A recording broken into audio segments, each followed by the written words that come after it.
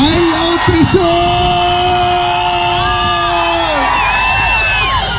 എനിക്കറിഞ്ഞൂടാ ഞാൻ ഒരു പോസ്റ്റ് ഇട്ടപ്പോ ഇത്രയും പേരോട് ഒരു രസം